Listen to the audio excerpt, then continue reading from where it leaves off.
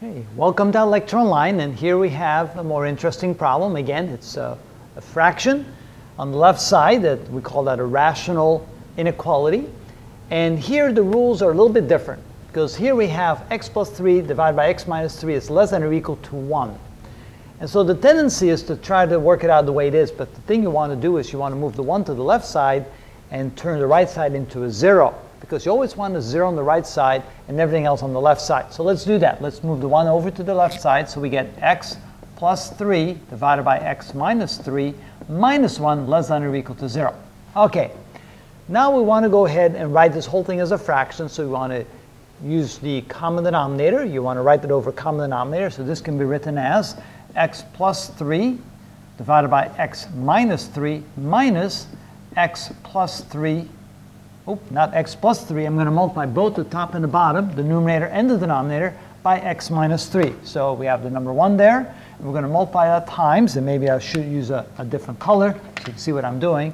I'm going to multiply the top by x minus 3 and the bottom by x minus 3. There we go. So I just introduced a fraction, x minus 3 divided by x minus 3 is 1. But I do that so I now have a common denominator on the left side. And that is then less than equal to 0. So now we can write both of those things on the same, over the same denominator. So we have x plus 3 minus x minus 3. Notice how we use parentheses so I don't make a mistake with negative signs. Divided over a common denominator of x minus 3, which is less than or equal to 0. And so now I can go ahead and simplify that. And notice that we have x minus x, which is 0. 3 minus a minus 3, which is plus 6, over x minus 3 less than or equal to 0, or simply 6 divided by x minus 3 is less than or equal to 0. So this is a better form of the inequality that we can try to solve. So now we're looking for all values of x which make this possible. So first of all, we can say, well, we cannot have an, a 3 in the denominator, right? So before we do that, though, we're going to write the equivalent equation. We're going to write 6 divided by x minus 3 equal to 0. And of course, the reason why we did that is because we want to find all the critical points, all the points that define or delineate the regions that either satisfy or not satisfy the inequality.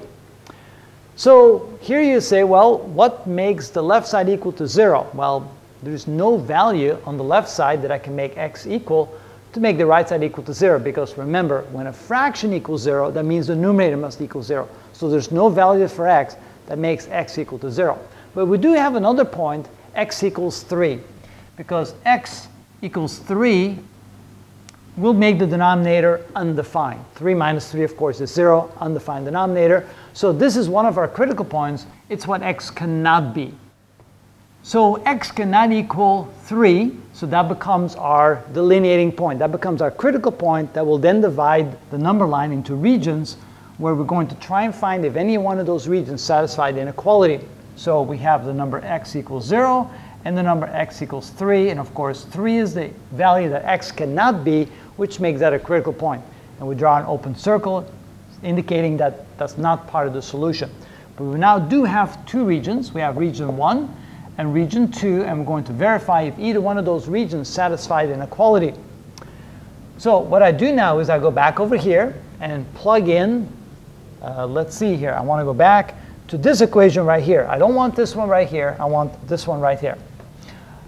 And uh, we're going to find two points. Let's try the point 0 and the point 4. So we picked a test point in each of the two regions.